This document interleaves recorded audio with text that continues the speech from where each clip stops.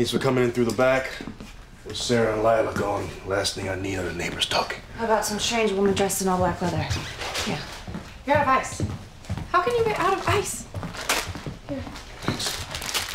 Okay, so the night's young, and there's a meth dealer working a corner on Fulton. Sounds good. Actually, it doesn't. You were completely unhinged out there tonight, Dig.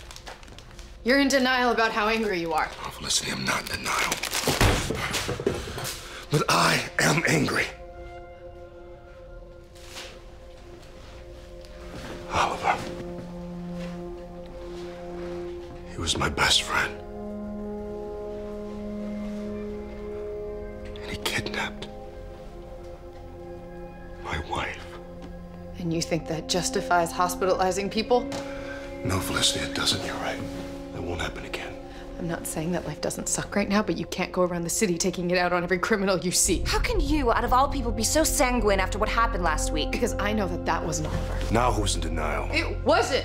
Our Oliver, my Oliver died the day he joined the league. This is someone else. You truly believe that? I have to.